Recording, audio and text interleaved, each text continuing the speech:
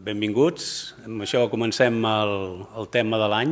Eh? Recordeu que seran unes xerrades, després un debat, farem un llibre, un llibretó, mm, sobre el, aquest any el tema és l'esposoma. Mm? L'esposoma, sabeu que l'esposoma, entenem per esposoma aquell conjunt de factors ambientals, els que estem submesos des que naixem fins a que morim. I això vol dir l'aigua que bevem, els aliments que mengem, l'aire que respirem, el tipus d'exercici que fem cada dia, l'entorn socioeconòmic en què estem, mm? tota, aquesta sèrie de factors que són els que ara anomenem, anomenem exposoma i que, com bé sabeu, estan canviant i estan canviant exponencialment amb el canvi global.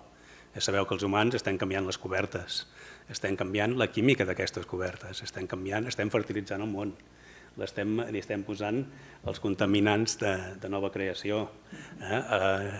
eh, posem nitrogen a dojo. Mm?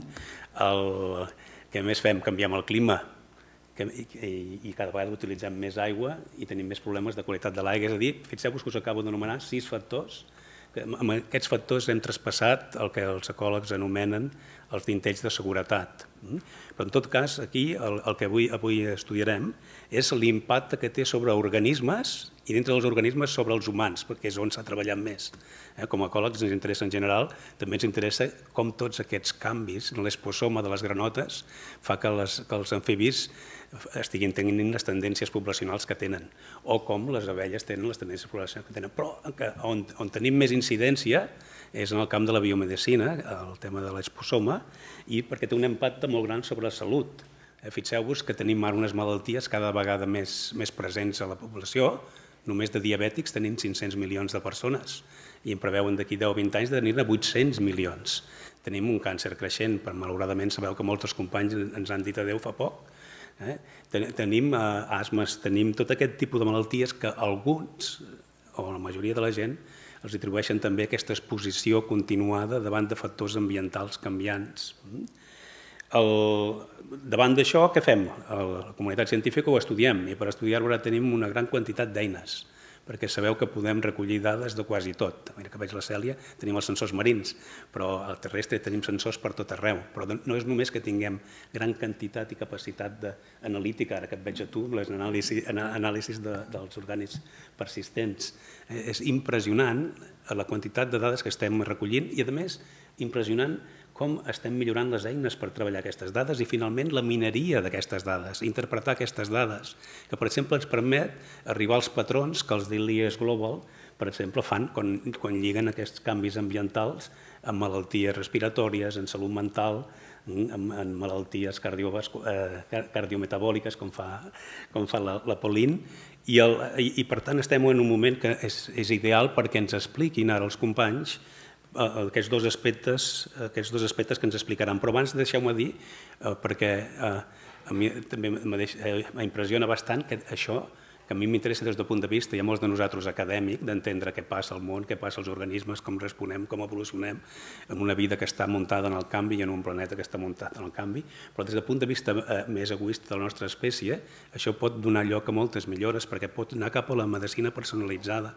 pot anar, a, a, per exemple, la que veig a la Polit, el, el que fan ells, que és eh, polítiques urbanes, mm, eh, prevenció, tot aquest tipus de, de, de aplicacions del que esteu aprenent són molt interessants. I precisament eh, en aquestes xerrades la idea és veure una mica les dues visions. I avui tenim la sort de tenir en Joan Grimal, que coneixeu tots, eh? membre també de l'IEC, molt conegut per les seves extraordinàries aportacions en la química ambiental, eh? jo des de petit que ja l'admiro, tot i que no és gaire més gran que jo, eh?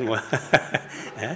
I, el, eh, i, i, i que ens explicarà això que us dic, com estan canviant l'entorn a l'esposoma. I, ten, I tenim per sort a la Polin, que ens dirà una miqueta com aquests canvis es tradueixen en canvis eh, cardiometabòlics, canvis respiratoris, eh, i, i, i a més suposo que ens explicaràs com es pot abordar per millorar, per exemple, la, la política urbana i no sé, ens explicaràs coses segur ben interessants d'aquest projecte que esteu fent. En tot cas, jo callo perquè, com veieu, sempre tinc tendència a la reunió anterior a xerrar massa, eh? però eh, avui tenim eh, doncs, la, la sort i, a més, els volem agrair que hagin vingut aquí i perquè sé que tots dos estan molt ocupats, i per tant eh, estem molt contents i molt agraïts al l'IEC, la institució aquesta de l'Institut d'Estudis Catalans, potser la Paulina no la coneix molt bé, però és molt gran aquesta institució, té diferents uh, seccions eh, i, t'agraïm a tu, eh, en Joan, ell ja sap com va perquè és un membre més, un, membre, com te deia, molt reconegut. Doncs gràcies, la idea és que en, Joan ens expliqui durant 20-25 minuts, eh, podem fer preguntes, jo potser que els fem immediatament perquè serà més viu, i després un 20-25 minuts la Pauline. Eh? Doncs moltes gràcies, l'escenari és vostre, que diuen els anglosaxons. Bé, doncs, en primer lloc vull agrair a, l'Institut i a la Societat de Ciències Biològiques doncs, aquesta gran idea de parlar sobre l'esposoma. Mm? I, bueno, i estic molt feliç de poder ser aquí amb el Josep Penyueles, el Pere i altres amics que, que ja ens coneixem de fa temps. Bé, en un principi, a mi el que m'agrada de tota manera és... Ah, això, en un principi, el que convé que recordem, eh? és que aquí, esta no, això, això se treu d'aquí? Oh. Ah, entendi, entendido. Sí. O sigui, a, a veure, per posar les coses en context, eh, vull dir, actualment eh, tenim una millor atenció sanitària, tant a nivell clínic com preventiu, que ha donat lloc a una molt més gran esperança de vida que en el passat. Eh? I això ho hem de tenir en context també. És a dir, per exemple, aquí hi ha aquest gràfic, n'hi ha d'altres, eh? en el qual doncs, es veu que eh, doncs, a partir de els anys 1900 eh, va pujant l'esperança de vida des d'uns 30 anys més o menys, 30-35, per amunt, eh, cap als 70. I això passa una mica a tots els continents, a uns més que altres, però és una tendència. Malgrat tot, és cert que l'exposició a contaminants ambientals perjudica la salut de les persones. Això no, no hi ha cap eh, dubte. I l'esposoma, tal com els defineix, eh, diguem, el Vermeulen, bueno, és això que ja ens ha explicat el Josep, el conjunt eh, de processos i de, mm, i de compostos químics que, eh, i d'elements de la dieta i estressors psico, eh, psicosocials i, i factors físics eh, que eh, influeixen en la biologia de les persones. Mm? Aleshores, en un principi, això es pot resumir així, per tant, depèn una mica, diríem, de factors relacionats amb l'ecosistema on vivim, depèn del nostre estil de vida, depèn de factors socials, eh, del nivell social que estem, de la cultura que tenim i de molts aspectes fisicoquímics hm, de, eh, les, de les, dels compostos que ens rodegen. Eh, eh, això serien els aspectes externs, però tot això es reflecteix, eh, aquests contaminants que ingerim bueno, tenen un efecte sobre l'ARN, sobre eh, els diferents hormones, sobre diferents processos eh, i que donen lloc a efectes sobre la salut més grossos o més petits. Eh? Bé, en un principi, quan parlem de compostos químics, hem de recordar eh, el Paracels, que deia que l'important és la dosi. Mm? I això es reflecteix en, en alguns casos, per exemple, si parlem aquí un cas del, del plom, eh, doncs, bueno, doncs el plom, si ja s'ha observat que persones que tenen nivells de plom eh, baixos, bueno, baixos, no molt alts, de l'ordre de 15 micrograms de silitre, doncs tenen uns certs efectes eh, sobre les mm, protoporfirines, una mica sobre el fetge, etc. Ara, si anem pujant, aleshores es pot arribar a, és dir, una intoxicació forta per plom que es pot reflectir a 80 eh, micrograms de silitre, doncs pot acabar amb encefalopatia i, i coma. Mm? Això seria, diguem, a nivell intern, però, per exemple, a nivell extern, aquest principi del Paracels, per exemple, a nivell de contaminació atmosfèrica, seria el que d'alguna manera justifica les normatives que hi ha mm, a les ciutats, al camp on sigui, sobre quan és important donar alarmes respecte a nivells de contaminants eh, per la població o quan no.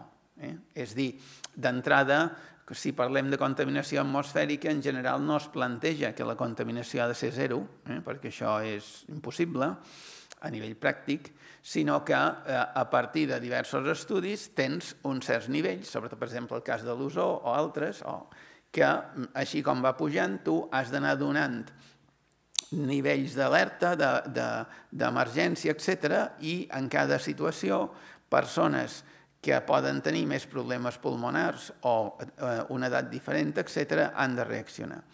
Això seria una mica la, trans, la transposició, diríem, d'aquest principi del Paracels a unes normatives ambientals.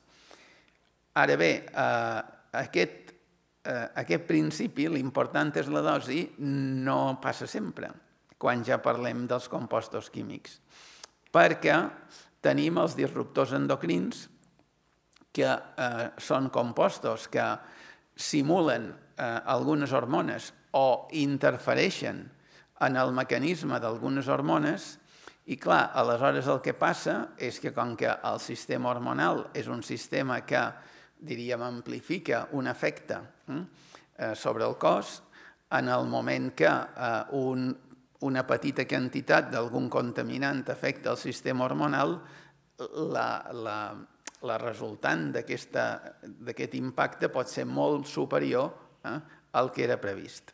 Eh? Aleshores, un altre tema important, que això sovint s'oblida, és que també és el temps. Eh? O sigui, les persones, en general, no estan exposades a, grans, a, a nivells molt alts de contaminants, sinó que més aviat estan exposades a dosis baixes, però durant molt de temps. I aquest molt de temps pot ser tota la vida. Mm?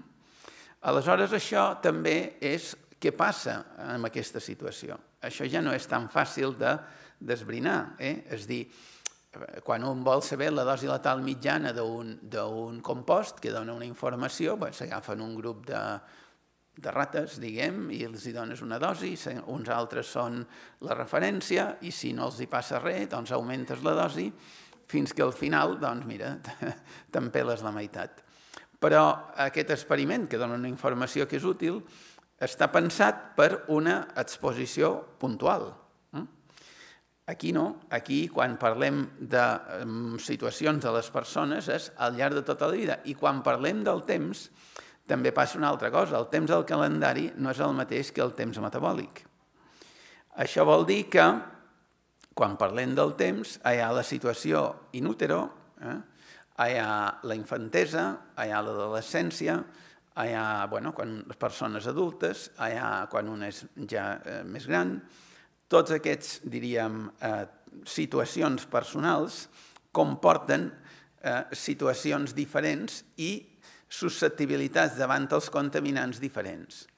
Eh? Per exemple, quan estem parlant de l'etapa fatal i els primers anys de vida, bé, doncs ja, ja ho sabem, es van formant diferents òrgans, eh, es van, eh, eh, van avançant diferents processos metabòlics i, per tant, un, un, un mal, eh, una exposició eh, a, a, a, fatal eh, a un, a, bueno, a un contaminant determinat, potser, si la tens ara, quan és, estàs, diguem, a l'època intrauterina, et pot afectar després per tota la vida, la pots arrossegar tota la vida, hm? que si la mateixa exposició et passa quan ja tens 20 anys, doncs seria mm, no de gaire importància. Hm? Això també fa que l'exposició sigui diferent i s'hagi de contemplar de manera diferent. També hem de tenir, per exemple, el sistema nerviós es va desenvolupant des de, diríem, la concepció, més o menys, fins més o menys a 20 anys. Eh? Va canviant, eh? però bueno, doncs tot això també és un, un punt important a tenir present. De fet, per exemple, a nivell de consum d'energia, eh, a l'etapa intrauterina hi ha un creixement enorme eh, de consum d'energia eh, per formar el cervell, eh, que després ja això s'estabilitza. Eh. Si fem ja un resum eh, de, eh, diríem, eh, la contaminació ambiental i els efectes que hi pot haver eh, sobre diferents eh, òrgans de les persones, bé, doncs aquí tindríem un petit resum, eh, que ara detallarem algunes coses eh, sobre el cervell, sobre el sistema immunitari, sobre el cor, sobre el sistema endocrí a nivell fatal, etc. Mm? Eh, tot això porta a que, bueno, com ja ha dit el Josep, eh, els humans són part dels, e, de l'ecosistema eh? i una bona salut demana un ecosistema net. Eh? Això mm, molt sovint vosaltres ja ho teniu clar, però quan ets, segons davant quina audiència, que estem aquí tots confortablement asseguts, els hi has de dir, bé, però escolta, que l'aire que esteu respirant és l'aire que us dona l'ecosistema. Eh? I quan aneu a beure aigua, eh, són les aigües que, dona, que proporciona els ecosistemes. I el que menjareu també és el que es dona als ecosistemes. És dir, que no us penseu que encara que esteu aquí tan confortablement asseguts, esteu al marge del que passi a l'entorn. Mm? Bé, eh, parlant ja més, anant al, al gra de, diríem, eh, mm, diríem en aquest context general, eh, eh, s'han identificat una sèrie de processos o de malalties que mm, no estan prou aclarits quina és la causa, eh, però que, diguem, són el que motiva en gran part eh, l'estudi dels contaminants i, i l'estudi de l'esposoma. Un d'ells seria l'increment de malalties no contagioses. Aquest gràfic s'ha de dir que ara ha quedat una mica obsolet perquè, clar, va acabar el 2020 i el 2021 vam tenir el Covid. Eh? O sigui que eh, aquí això canviaria un poc, però en qualsevol cas que augmentin les de les contagioses no lleva que les no contagioses sí que estan augmentant. Eh? Uh, un altre mm, procés serien totes les malalties neurodegeneratives. Eh? Aquí, posa, aquí explica una gràfica de com augmenta la incidència de Parkinson a Anglaterra, però també podríem fer-ne una altra sobre la incidència d'Alzheimer. I aquí, clar, eh, eh, mm, diguem, es pot dir si... A veure, aquí pot haver diferents aspectes. Eh? Vull dir, per una banda, a nivell mèdic, eh, potser ara eh, s'identifica molt millor que és un Parkinson, que és un Alzheimer, que és el que sigui d'aquestes malalties, i abans simplement era allò que l'avi diu dois. Eh? eh? Vull dir que ara està més ben identificat. En segon lloc, també, si ha augmentat l'esperança de vida, eh, vol dir que a certes malalties que un, diguem, hauria de passar i que potser li tallarien la vida, com certes infeccions, o fins i tot certs càncers, ara ja no passen i, per tant, en viure més temps un té més probabilitats d'enganxar de, altres coses. Però també, eh, davant el fet d'aquest augment de malalties neurodegeneratives, està el fet de que mm, si també l'exposició que hem tingut al llarg de la vida no afecta aquí. Entre altres raons també perquè, com bé sabeu, el sistema nerviós, eh? les cèl·lules nervioses són les que es reparen i es pitjor, eh? les que costa més de reparar en el cos. Un altre problema que existeix i que no s'ha resolt bé és la, a, a, la disminució de fertilitat en els homes. Mm? O sigui, els homes, el semen dels homes va tenint cada vegada, bueno, en el que fan estudis, eh, menys espermatozous actius. Mm? Esdevenen, estem esdeven, els homes estem esdevenint més infèrtils. I això s'ha mirat més a les, als països industrialitzats, però, eh, però també eh, a cada lloc que es mira es veu. Eh? O sigui, mm, diríem, eh? no és que siguin els industrialitzats sí els altres no, diria jo. Eh? Però això també no és tan fàcil de mirar a nivell estadístic. Eh? I això, un altre tema, és el que també s'ha anat veient com la, eh, la regla en les dones, eh, en, les, en les noies, apareix abans. Mm?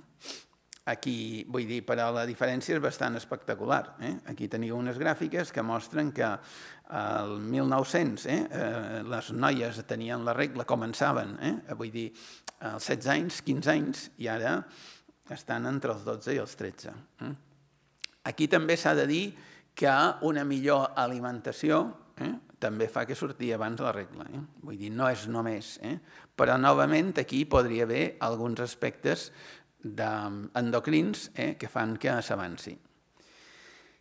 A nivell del Ministeri, bueno, això és una, una dada espanyola, bueno, ells van detectant que, cada, bueno, que augmenten els problemes de, diríem, de comportament, eh, situacions semblants a l'autisme, coses d'aquestes amb, amb, amb els joves, sobretot els nois, més que les noies. Mm? bueno, això és una altra possibilitat. Bé, si fem un resum de tot això, hm, tindríem aquí a baix la, el temps, a dalt l'esposoma genèric, que seria l'extern, a la dreta tindríem el, el, aquest, el, la part més interna que té a veure amb l'estil de vida i aquí a baix tindríem els efectes de tot això sobre el nostre metabolisme. Uh, la revista Lancet, uh, cada 10 anys més o menys, publica una, enquesta, una estadística mundial sobre les, els factors principals de pèrdua d'anys de vida i, i, i, i augment d'anys i, i, i anys amb minusvalidesa de tota la població. Aleshores, eh, surten de tot. Eh? O sigui, no, no és només dedicat als contaminants, sinó tots els aspectes. Aleshores, el número 10, que és el primer, surt en relació a la contaminació atmosfèrica. Mm? Després hi ha el número 14, crec que és, que està en relació a no disposar d'una aigua de bones condicions de salut, i després eh, n'hi ha un altre, també ambiental, que, eh, no, per aquí, eh, que també té a veure amb la contaminació atmosfèrica. Són dos, els de la contaminació atmosfèrica. Això ens situa una mica en general, eh? vull dir, en general, i l'Organització Mundial de la Salut marca que aquests aspectes ambientals a les persones que afecten més hm, són els nadons i la gent gran, hm, que d'alguna manera serien els que tenen, diríem, un metabolisme, els nadons que comença i per tant més, més làbil eh? i la gent gran potser un metabolisme ja més cansat o més tal, més difícil de reparar i també els hi afecten més. Bé, aleshores, si parlem dels contaminants o dels productes, més que de contaminants de productes, hi ha aquesta gràfica que il·lustra eh, sobre aquesta gràfica l'escala és logarítmica. Eh? Eh, cap allà l'any 1800 teníem que eh, utilitzàvem uns 80 compostos químics sintetitzats eh? i passat l'any 2000, cap allà el 2015 estem utilitzant uns gairebé 600.000 compostos químics sintetitzats. Mm? O sigui que, i això, segons qui us parli, us dirà que no són 600.000, que són 2 milions. Eh? Vull dir, això depèn de com es miri. Però vaja, l'increment de compostos sintetitzats eh, que utilitzem és enormement gran. Aleshores, aquí, bueno, jo ara no aniré en detall bé de la, de la, del temps, eh? però hi hauria tot un grup de compostos amb àtoms de, de clor i àtoms de brom i àtoms de fluor, que aquests són persistents, és dir, que per les seves propietats fisicoquímiques, una vegada entren al cos, tenen tendència a quedar-s'hi, i també el que passa és que són compostos nous, totalment nous, que el nostre metabolisme no reconeix, no sap què n'ha de fer d'ells, eh? perquè no, no, a la natura no es troben i, per tant, evolutivament no hem desenvolupat mètodes per carregar-nos-els. Mm?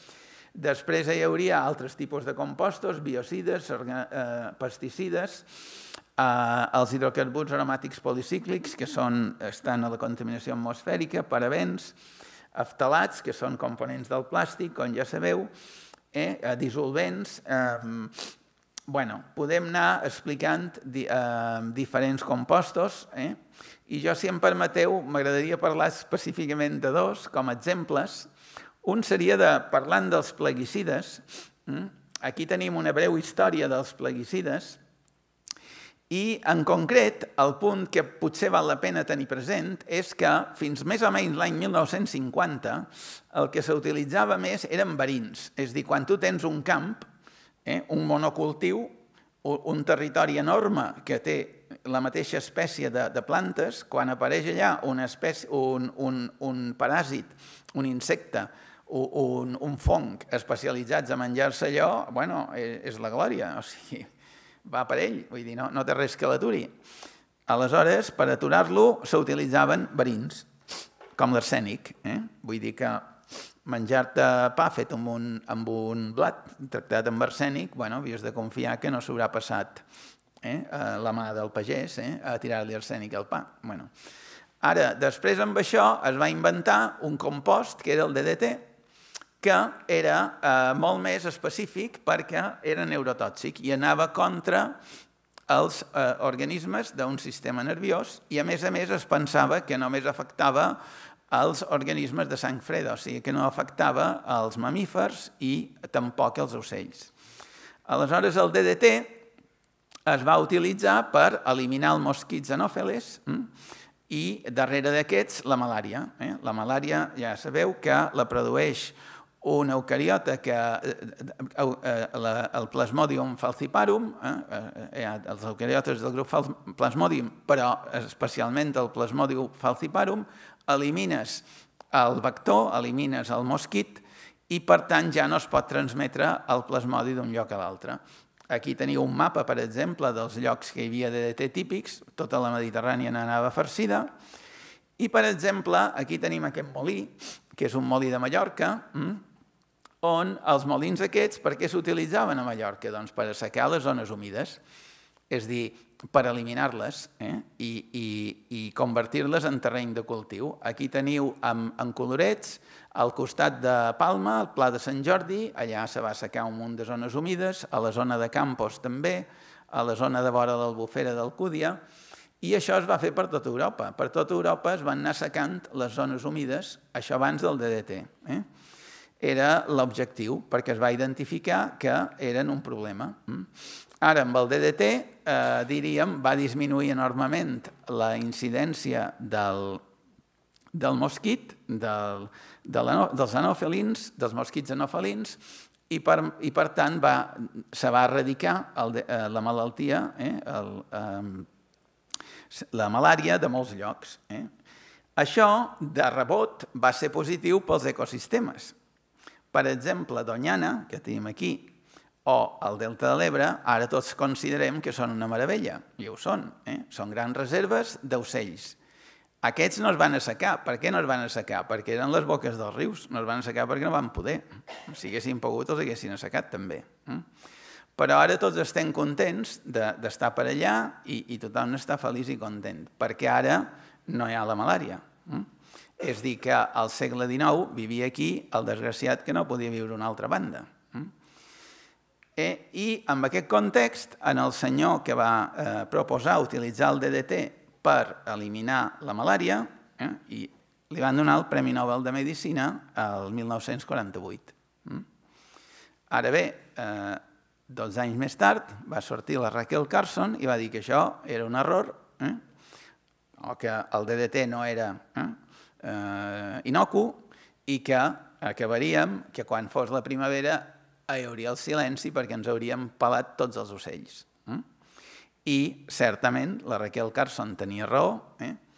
eh perquè el DDT en els ocells produeix un munt de problemes com mortalitat aguda, eh, reducció de fertilitat, bueno, tot això que hi ha aquí, i també amb els humans. Eh? O sigui, no era inocu tampoc pels mamífers i nosaltres com a tals doncs també augmenta la probabilitat de càncer. El DDT i el DDE eh, està descrit, càncer de pit, diabetis, eh, eh, mm, disminució de la qualitat del semen i altres coses. Eh? I també, eh, per tant, diríem, eh, s'ha prohibit el DDT, eh, el conveni d'Estocolm i altres normatives, però l'Organització Mundial de la Salut encara recomana l'ús del DDT a les zones que hi ha malària com per exemple les zones tropicals d'Àfrica. El que passa que diuen que ha de ser només per matar el mosquit, no per utilitzar en agricultura. I a nivell, per exemple, de Menorca i Ribera d'Ebre, dos casos hem vist que eh, l'exposició in utero eh, a, a DDT dels nadons, DDT i DDE, dona lloc a retards eh, eh neurològics eh, en, quan tenen els nens 4 anys. Eh?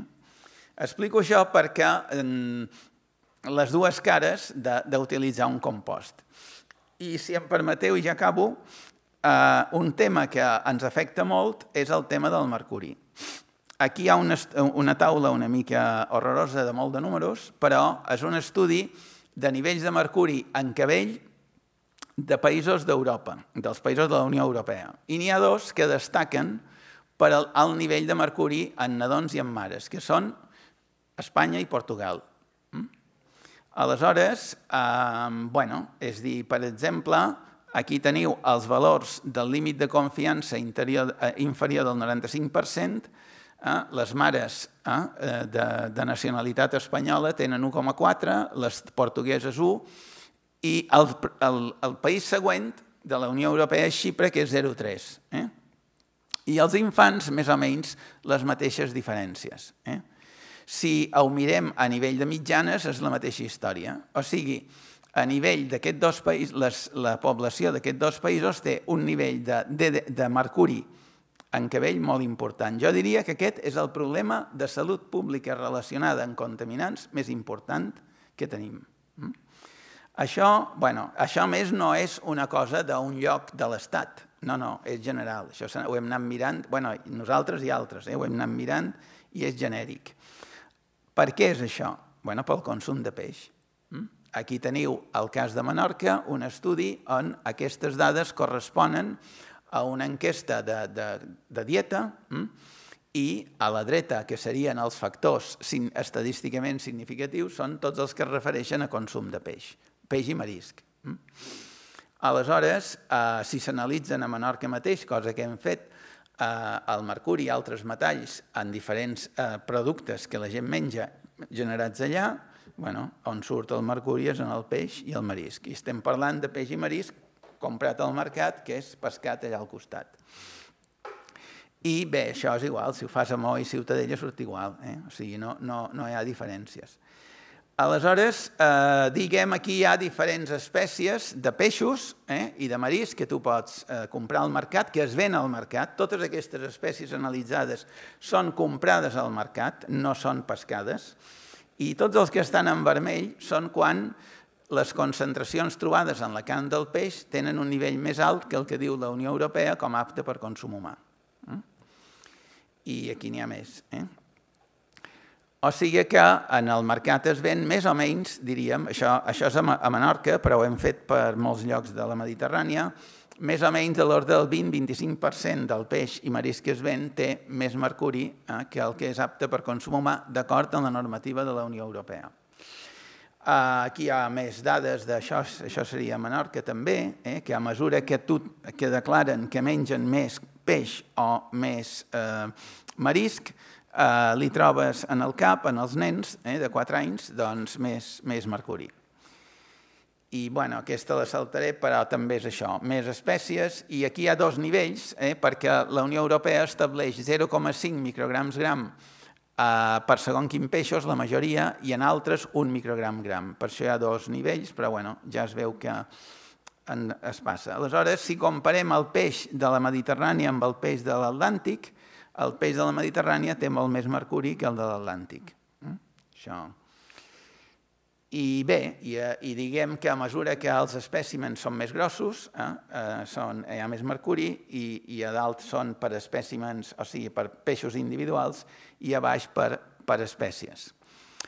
Bueno, aquesta la podem saltar. I a Menorca, per exemple, diries, bueno, doncs mira, això, però aquí tenim una gràfica que dos eh, micrograms gram seria el, el marge, el, el dintell eh, recomanat per l'Organització eh, Mundial de la Salut en nens, eh, que ja seria per sobre, no seria bo, bueno, n'hi ha uns quants que sí que la passen. Eh?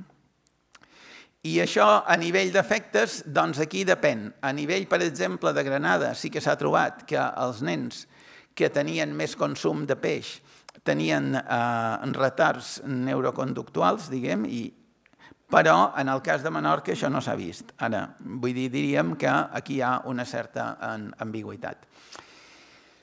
bueno, eh, això m'ho salto i eh, per acabar aquestes incerteses diria que un grup de, bueno, d'investigadors van proposar que es fes un IPCC eh, dedicat als contaminants químics i als residus per poder anticipar-nos els problemes aquests que quan se posa un compost en el mercat o es tracten malament els residus, abans de que comenci a haver-hi problemes de salut, poder-los anticipar.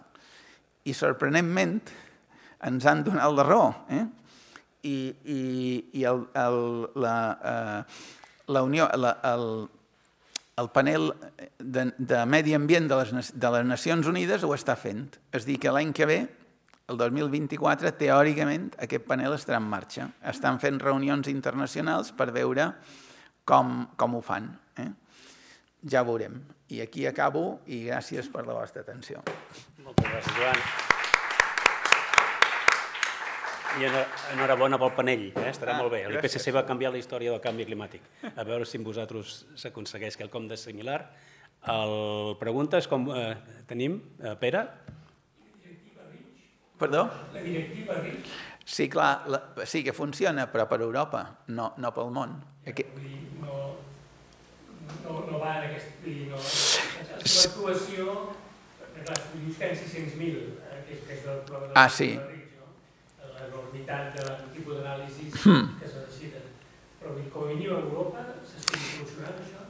Ah, bé, Europa va en la bona direcció perquè molts productes que es, se volen vendre eh, ara t'han de passar la directiva RICH, certament. Eh? I això eh, d'alguna manera limita eh, eh, la utilització de certs compostos i permet anticipar-se. De tota manera, és una mica complicat, eh? perquè, per exemple, hi ha els compostos perfluorats, els PIFOS i les PIFAs, eh? Aquests eh, àcids octadecil sulfònic, eh, octadecil eh, eh, eh, eh, octades, eh, eh, octasulfò, eh, i, i, i carboxílic, que per exemple són aquests que s'utilitzen, jo que sé, per fer el Goretex i aquestes coses, per... Bueno, a veure, aquí hi ha com una cursa, hm? perquè aquests s'han prohibit, els, els inicials s'han prohibit, però diríem que la indústria contínuament en treu de nous hm? i hi ha com una cursa entre la capacitat analítica dels laboratoris i la indústria. Eh? Uh, diríem, ara uh, el que està de moda és treure uh, compostos d'aquests de cadena molt més curta, uh, en lloc de 8 àtoms de carboni, de, de 2, de 3 o de 4, aquests teòricament s'eliminen més ràpid per l'orina i per tant no haurien de ser tan, tan tòxics. Eh? Però, diguem, aquests són un dels compostos que avui per avui estan més mm, sota el focus, però se n'han generat tants que hi ha com a mm, uns 20.000 compostos d'aquests diferents. Eh? I aquí la normativa RICH no, no hi arriba. Eh? Eh? Bueno, perquè eh, potser te'ls treuen amb, eh, sota el paquet de compostos fluorats i no entren a, a distingir uns per les altres. Eh? És dir, es, es, a veure, jo tampoc vull dir que aquest panel ho resoldrà, això, eh? perquè eh, eh, eh, sí que, diguem, el que, eh, ja hi ha gent que hi treballa eh? I, i, bueno, nosaltres hi treballem, però en intentar tenir els patrons i tenir eh, els mètodes d'anàlisi per, per controlar-ho tot. Mm? Però, mm, a veure, són uns compostos que, en, en, més que res, no són tan tòxics com pot ser un DDT o això, però el gran problema d'aquest tipus de compostos és que també són bioacumulables mm? i per tant se'ns estan acumulant a tots en el cos. I aleshores, si més endavant surten problemes, ja tens una empastifada general. Mm? Perquè, per exemple, una cosa que no he dit abans és que, clar, tot això del DDT, ara, el compost, tots en sang, eh, portem un nivell de DD, tothom, absolutament tothom. Mm? És dir, i, i, i, i, quan un, I quan neix un nadó ja neix amb el DD posat perquè li passa a través de la placenta que, que li ve de la mare. Eh? I, I amb la lactància encara n'agafa més. Mm? O sigui que, bueno, aquests nivells tan baixos, mm, bé, és el, allò que hem dit al principi, fan efecte o no? Mm, bé, eh, no se sap però evidentment són compostos que no hi haurien de ser. Eh? I els fluorats passa el mateix. El que passa que amb els fluorats encara ara no s'han trobat efectes, però no són tan importants.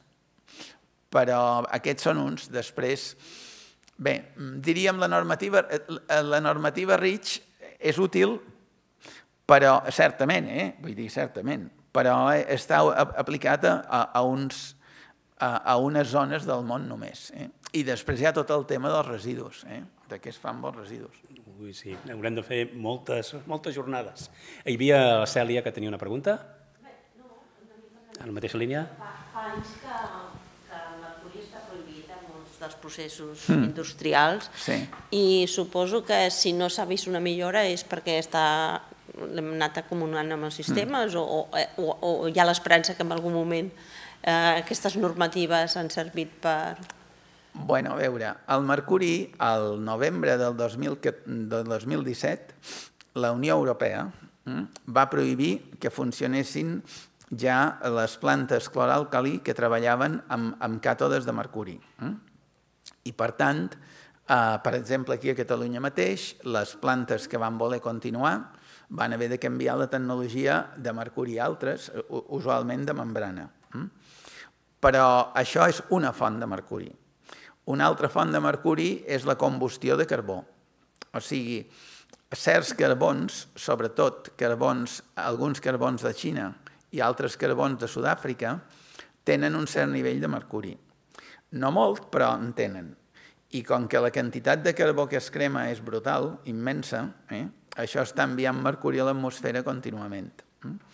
I aquest mercuri, per les seves propietats eh, fisicoquímiques, s'evapora, però després condensa, i el lloc on, ha de, on acaba normalment és al mar.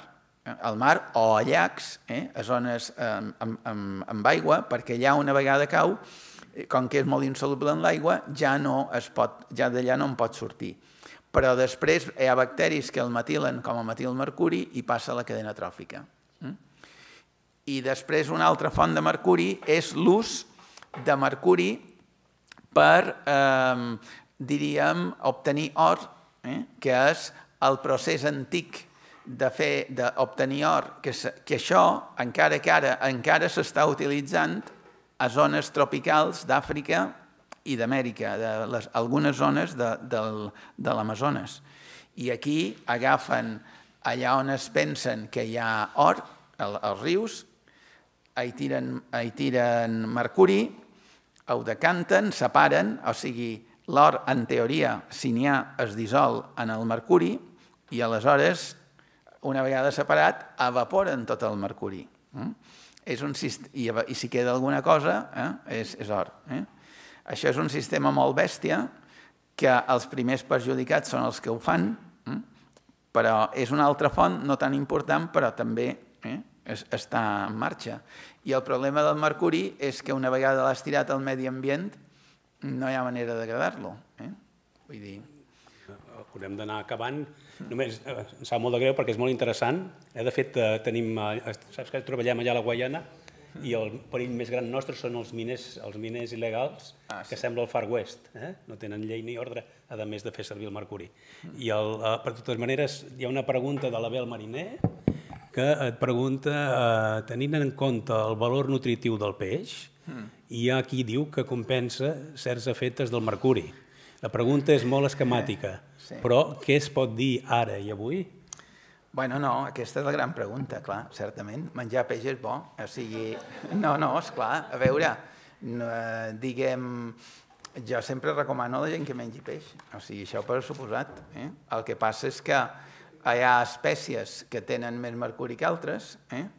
I per tant intentar menjar, per exemple, sardines eh, eh, seitons, aquestes, eh, els, els calamars, tot això té poc mercuri. Eh? És dir, anar, eh, van publicar un article la- l'any passat explicant quines espècies tenien menys mercuri. És dir, van publicar un article explicant quines a tota la Mediterrània, totes les que havíem analitzat, complien en la, en la normativa de la Unió Europea, en tots els casos.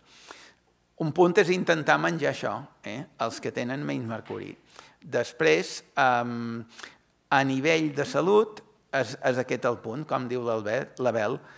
Uh, tenim menjar peix és bo perquè té tota una sèrie d'àcids grassos insaturats, seleni que no tenen altres aliments, però la llàstima és haver de pagar el peatge d'empassar-te mercuri amb això. Però sobretot és seleccionar el que menjaràs, per exemple, amb, amb el govern de les Illes Balears, en, no ara, sinó en el passat, de vegades, hem editat eh, prospectes eh, per passar al món mèdic perquè recomanessin a les dones embarassades quines espècies eren les més adequades eh, eh, per evitar eh, consumir mercuri almenys durant l'embaràs. Eh?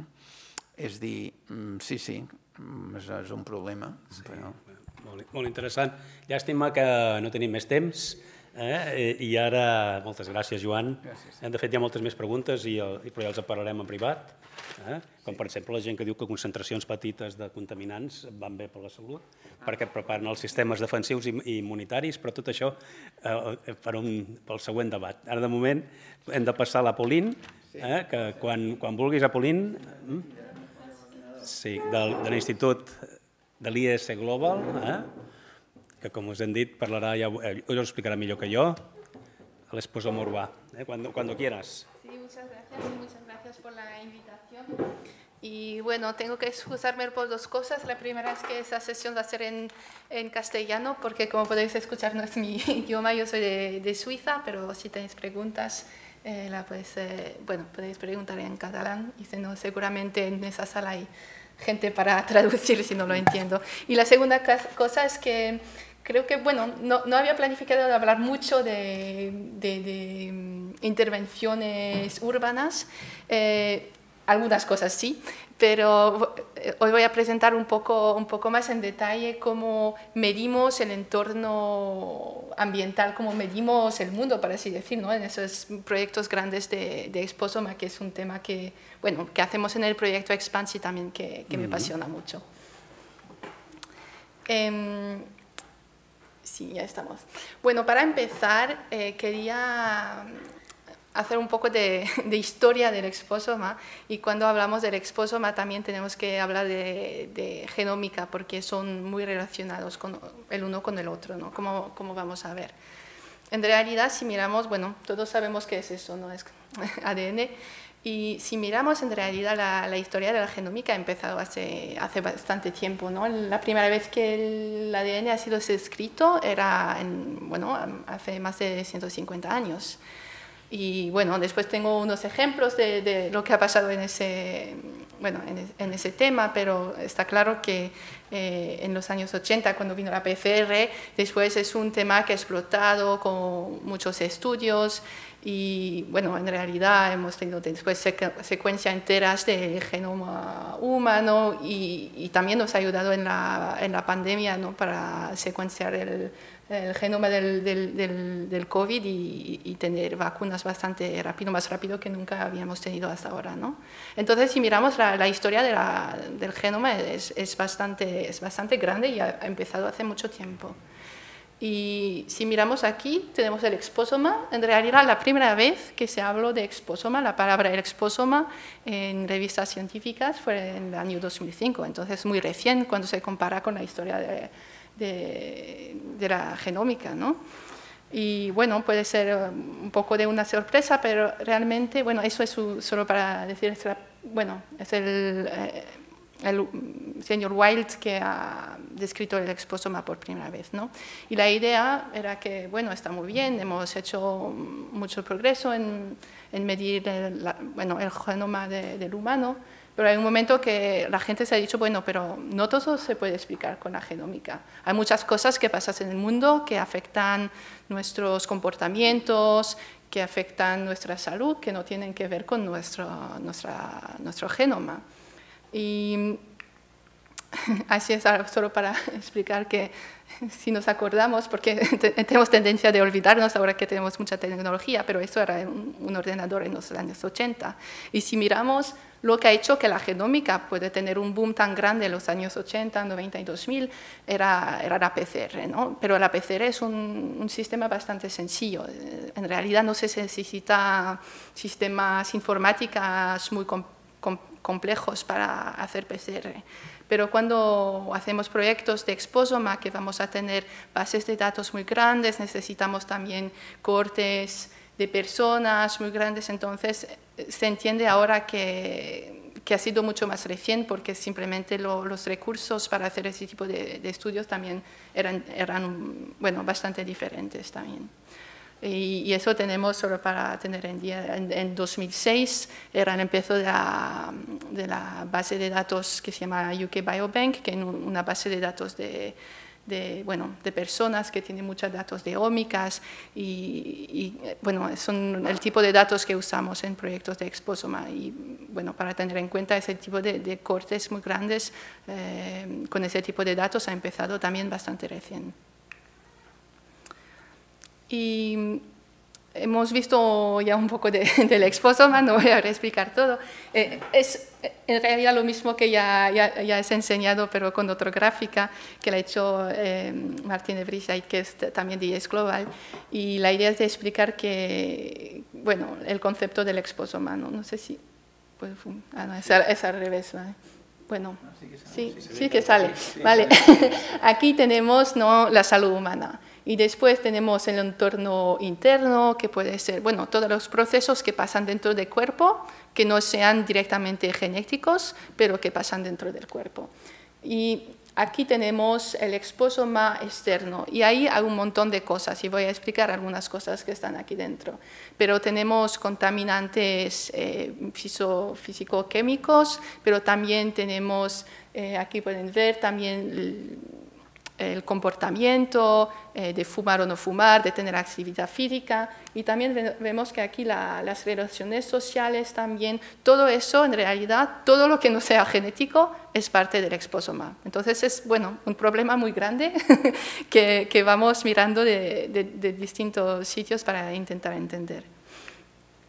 Em, y yo voy a dar unos ejemplos que, que tenemos en el, en el proyecto Expanse. Yo me he unido al proyecto Expanse en el 2021 eh, en un work package eh, que es de, de, Catherine Tone, que se, bueno, que se trata de, perdón, es el, el, otro, que es el de aquí, de las intervenciones eh, de, de, salud de la exposición urbana, pero para hacer ese tipo de estudios también se ven aquí necesitamos muchos datos y muchos socios. Y eso es un proyecto que en realidad tenemos unos 20 socios eh, de distintos países, la mayoría de, de, Europa.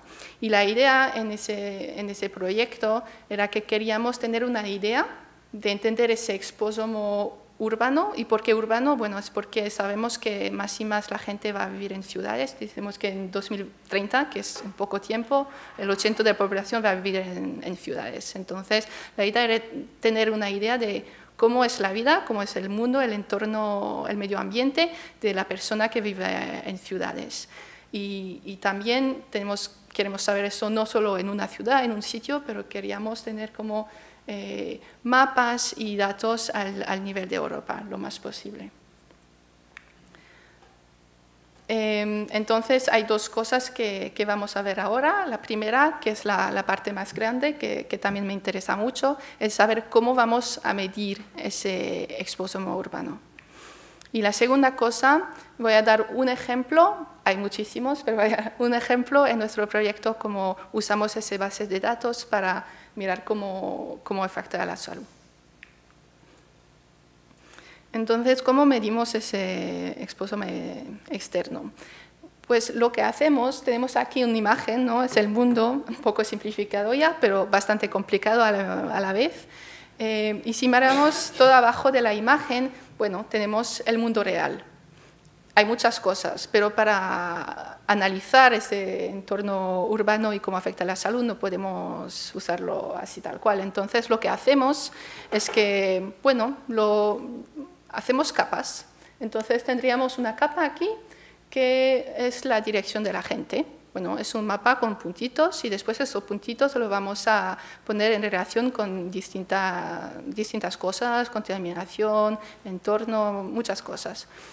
Y después vamos a usar muchos mapas también, eh, por ejemplo, mapas de contaminación, de espacio verde, podemos tener el entorno social, muchas cosas. Entonces tenemos cada parte de ese mundo muy complicado, lo simplificamos en una capa y después analizando esas capas todas juntas tenemos bueno, una idea más o menos precisa. Bueno, intentamos hacerlo lo más preciso posible porque cuando las miramos todas juntas, Aquí en realidad lo que miramos es lo más cerca posible del, mundo real en, el cual vivimos.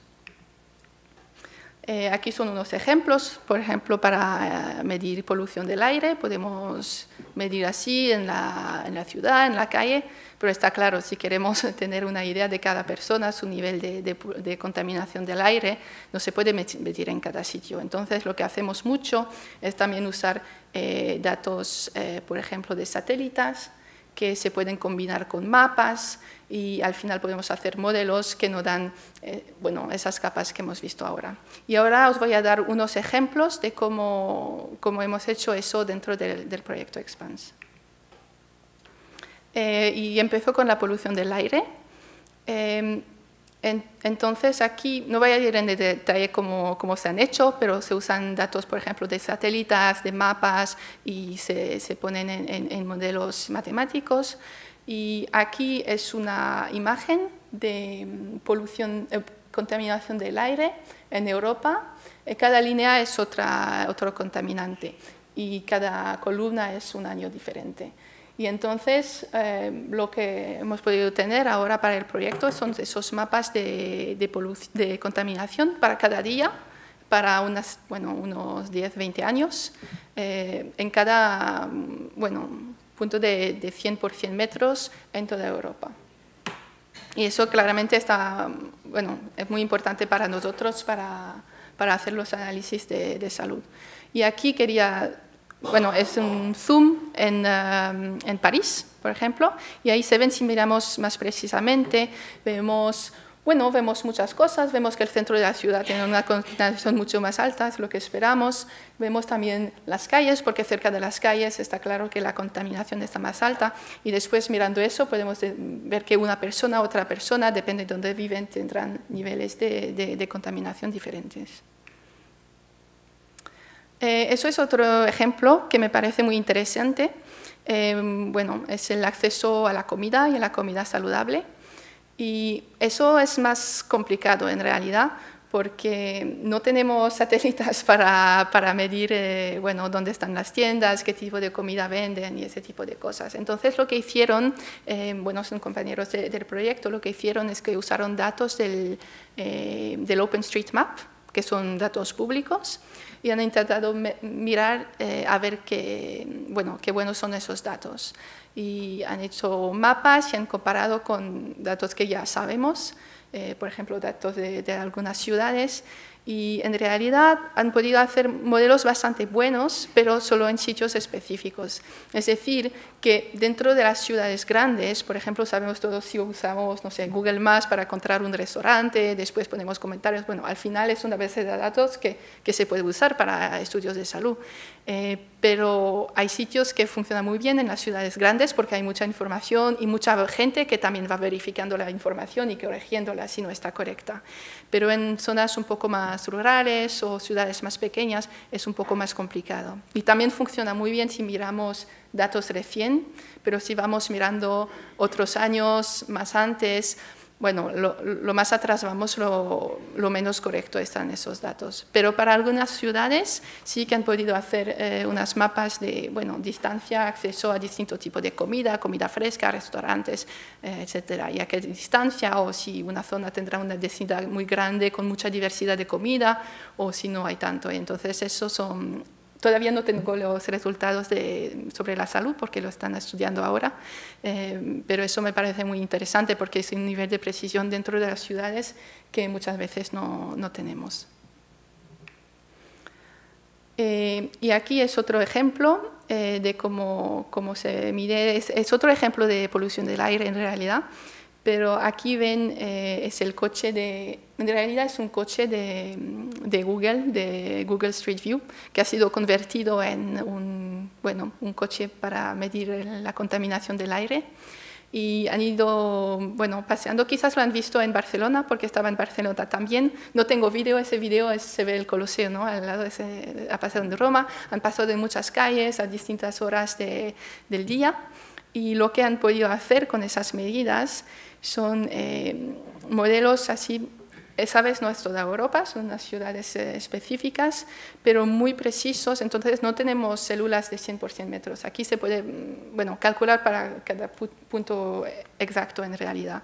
y tienen distintos contaminantes. Aquí vemos el NO2, que tenemos también esos modelos europeos, pero que muy interesante son, por ejemplo, las partículas eh, muy finas, que por eso no tenemos modelos tan buenos, eh, bueno, no se mide tan bien con satélites y con otros instrumentos como como otros contaminantes. Entonces, para esas ciudades eh, podemos tener esos modelos muy precisos y también no solo día por día, pero sino también a distintos momentos del día. Entonces, se puede usar después para hacer modelos, eh, no sé, de, también comportamiento dentro de las ciudades, cómo va a afectar la contaminación en distintos sitios a distintas horas. Y, y, bueno, también, bueno, era otro ejemplo para decir que otra razón por qué es interesante para nosotros es que muchas veces distintas contaminaciones del aire son muy relacionados entre ellos. Entonces, si miramos, bueno, no sé si el NO2 afecta a la salud respiratoria, a veces no sabemos si es por un, bueno, por un, contaminante u otro. Y entonces con esos modelos, porque hay un poco más de precisión espacio-temporal, también se puede mirar un poco más específicamente qué contaminante tiene efecto eh, en distintos problemas de salud. Y como le he prometido, voy a dar un ejemplo del, bueno, en realidad es el, el proyecto que, que, estoy trabajando de momento, eh, de, cómo, de cómo todas esas capas que hemos medido, enseñando algunas, tenemos mucho más, eh, cómo usamos todas esas capas para hacer estudios de, de salud. Y eso, bueno, es un extracto de un, de un post, en blog post que tenemos en, en Yes Global, está en inglés y, en castellano ese. Y bueno, el título, no sé qué os parece el título. El título era Mudarse para mejorar la salud.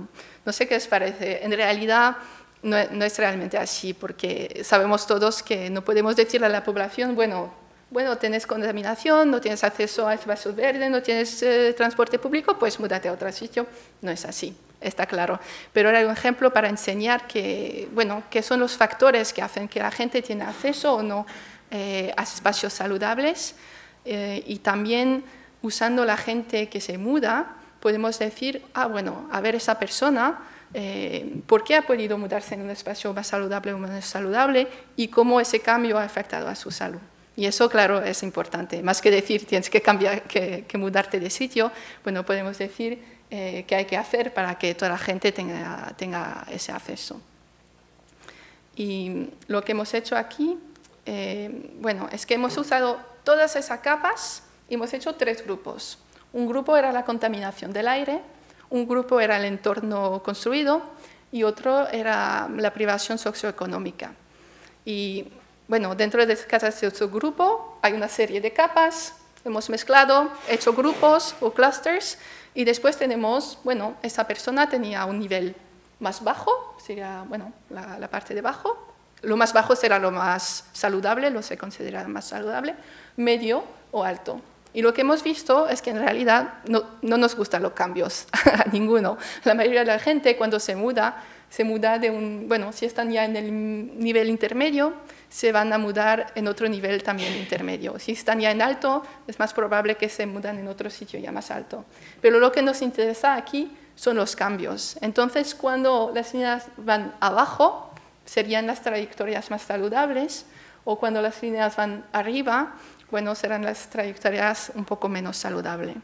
Y lo que hemos encontrado aquí es que las trayectorias, bueno, primero cambia, depende de la, de la edad, de la fase de vida, y también hemos visto bastante inigualdad eh, en eso, porque la gente eh, que tenía bueno, acceso, decimos, a esas trayectorias más saludables, eran también la gente con más recursos socioeconómicos.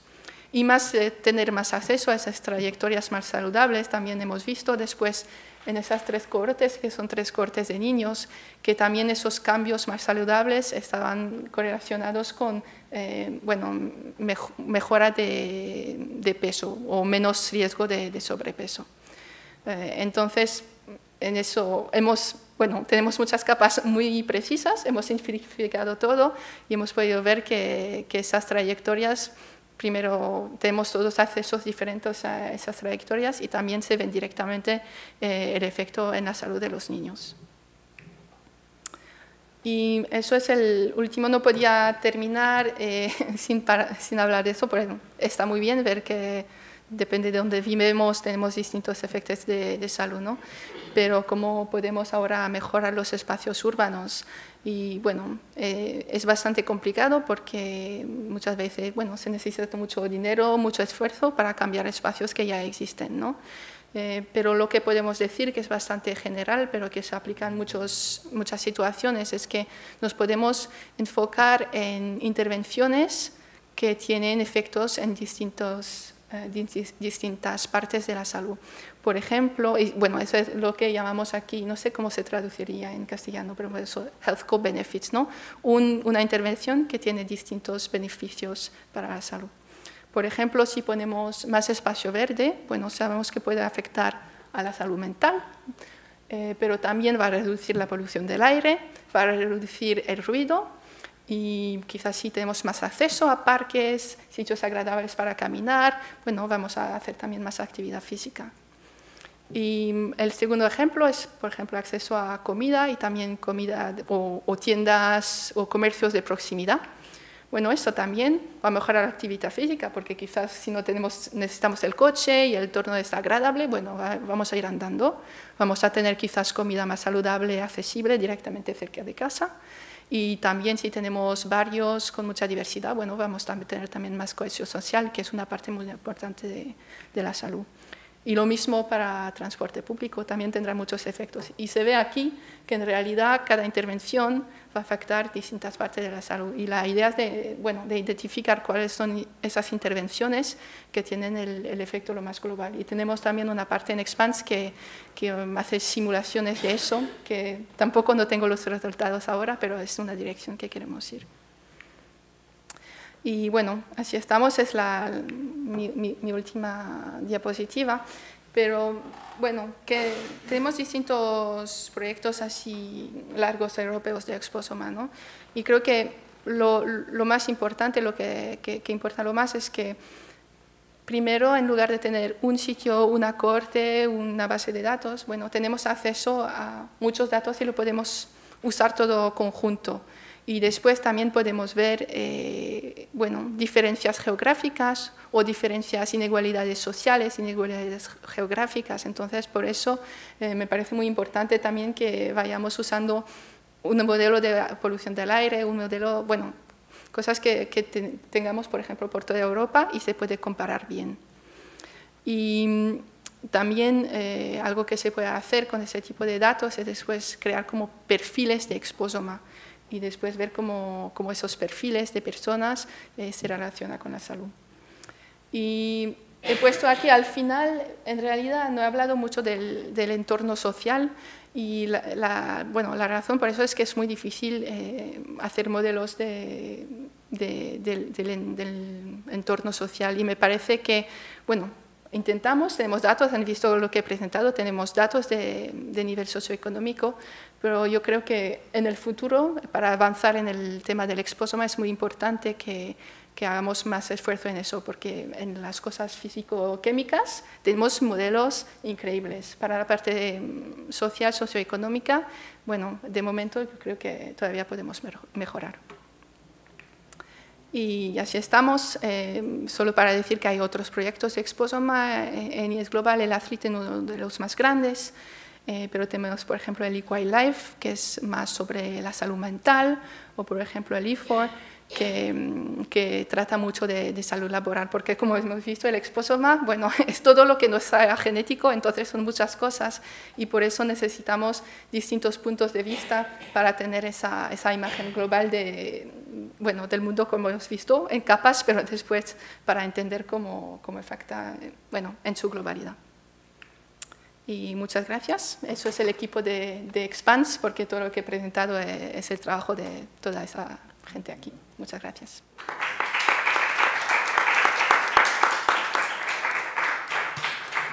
Diu qüestions, moltes gràcies. Paulín, moltes gràcies. Eh, que ens has donat una visió eh, complementària a la d'en Joan, fantàstic. Eh, teniu preguntes?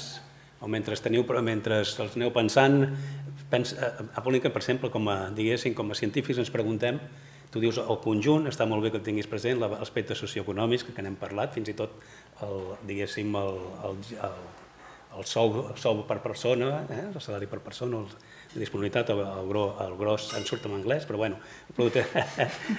i en tot, en tot cas aspecte socioeconòmic, però jo em pregunto, eh, imagina't que volguessin saber, perquè tu has dit que sí, que cada vegada podeu més, discernir si l'efecte és de l'NO2, de les partícules, o si és dels pops, o, o, o, perquè amb això ens hi trobem contínuament els ecòlegs que ens preguntem quina anàlisi fem. Normalment fem anàlisis estadístics, després fem els anàlisis d'aprenentatge automàtic, eh, però em pregunto si vosaltres heu, heu anat en endavant i, per exemple, podeu dir que quan augmenteu la resolució espaial tant, us permet fins i tot distingir entre partícules i NO2. Eh, això com ho feu? Bueno, es muy buena pregunta y, y no es nada fácil. Y bueno, un problema que tenemos a veces, una razón que a veces es muy difícil es también la diferencia en calidad de, de los diferentes mapas que tendremos, ¿no? Porque tenemos, podemos tener resolución, pero sabemos que, por ejemplo, el eh, NO2 eh, se modela, modeliza bastante bien, pero las partículas finas, eh, bueno, es más difícil, entonces, porque el NO2 depende mucho del tráfico, eh, entonces, donde hay calles hay más nodos y entonces, bueno, eso es una, una, de las limitaciones y bueno, se ve que en la literatura científica dicen que las partículas finas tienen el efecto lo más grande, más grande que el nodos en muchas partes de la salud. Y yo creo que en gran parte, bueno, no solo, pero en parte puede ser también que sea porque los modelos simplemente son mejores, entonces esos efectos que individualmente ah. son pequeños cuando miramos a la población, bueno, son más fácil ver si tenemos eh, mapas de, de, mejor calidad. No es solo eso, también porque las partículas finas entran en los pulmones y, y, tienen eh, efectos distintos. Pero sí, poco a poco con esos mapas sí que se pueden ver diferencias. Dices que son de 100 metros por 100 metros, excepto los del Google los del Google uh, Drive este, de, de, la Street, del Google Street. Sí. ¿Eh? ¿Y ahí qué resolución me has dicho? ¿Has dicho? En realidad son, son modelos, bueno, hacen cálculos usan los sitios que han sido medidos y después dicen, bueno, distancia a, a ah. distintas cosas y hacen un, un, modelo para cada punto que ha sido medido. te preguntaba qué tipo de interpolación, qué interpolación Y después se puede calcular en cualquier ah. sitio muy precisamente ¿Sí? en realidad. Vale, vale. Los Eso... mapas siempre lo hacen en sí, sí. pero en Hay... realidad no tiene límite de, de resolución. Molt bé, sí, però per això t'estranyava, perquè preguntava per la interpolació, quin tipus d'interpolació fèieu, eh? Inter, el tipo de interpolación, el kriging o cualquier otro tipo de técnica que utilizan o utilizan ellos eh, para es, darte tamaña resolución. ¿eh? Esos son modelos que se llaman de, se llaman de Land Use Regression. Okay. Muy eh, bien. Sí, es, eh, usa bueno, las distancias a distintos sitios, y, pero no hay, no hay interpolación directamente. Vale, vale. Mm. No, molt interessant. Teniu més preguntes? Sí, Cèlia, sisplau. No, jo estava pensant que m'ha acostumat a sentir l'emergència climàtica, podríem dir l'emergència de la salut, no? Que segurament els polítics potser fan més cas, perquè quan toca la salut, veu el clima és allò que... però quan toca la salut la gent s'implica més, potser podríem anar posant això, que eh, resoldrien els, els problemes a la vegada, però potser la gent ens sensibilitza més si comencem a parlar d'emergència de salut. De, de fet, el clima és part de l'esposoma. Eh? Tenim, sí. Els professionals que s'hi dediquen tenen tendència a pensar més en la química, però el, el, el clima determina, per exemple, ho ha explicat també molt ben Joan, que es depositin o no els pops allà al Pirineu o aquí, no? Aquest tipus de coses. El clima és fonamental, és una part molt important de l'esposoma, com ho és l'aspecte socioeconòmic que estan intentant uh, incorporar. Eh? O sigui que sí, i a més, és veritat, amb la Covid tots ens vam moure. I amb el clima, com que passarà demà passat en lloc d'avui, seguim, uh, seguim malbaratant el nostre temps, sí.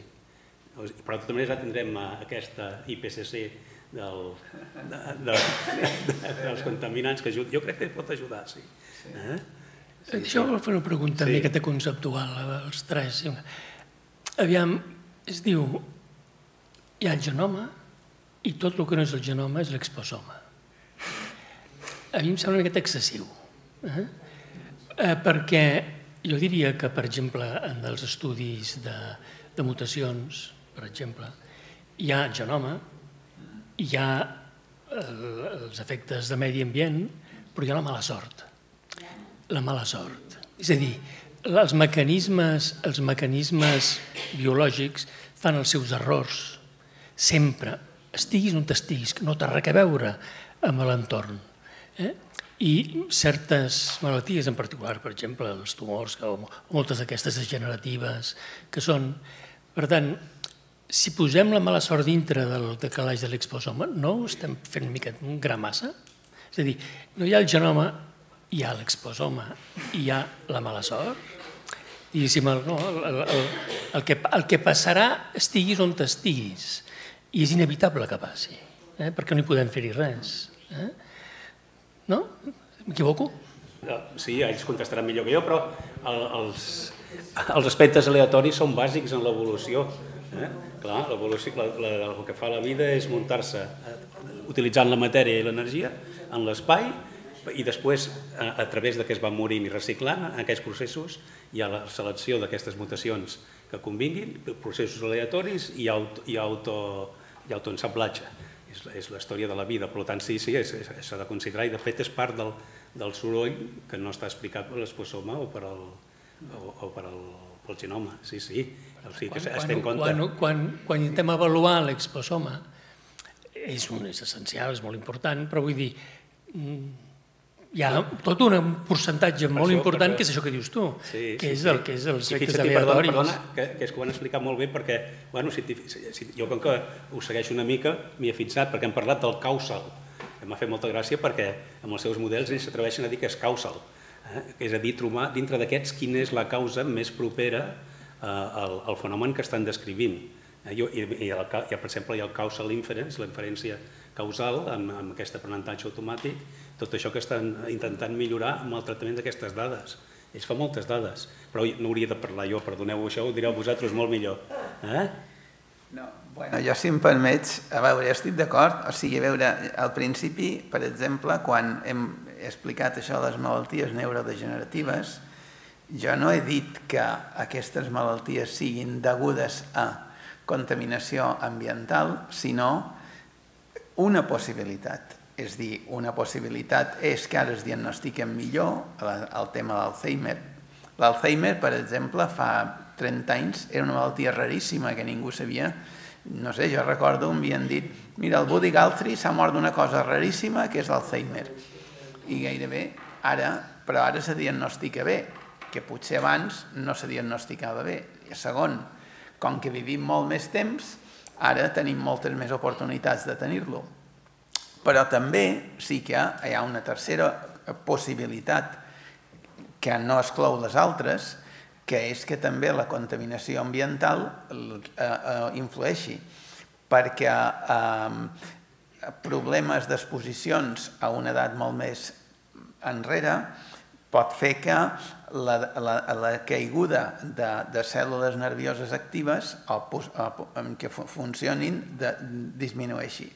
Jo amb això crec que un exemple molt clar hm, és veure què passa a l'entorn de la central nuclear de Txernòbil. Hm. A l'entorn de la central nuclear de Txernòbil, ara que no hi viu ningú pràcticament i que és un territori abandonat, els animals viuen la mar de bé. Però què passa? Sí, sí, viuen la mar de bé perquè per ells el càncer no és un problema.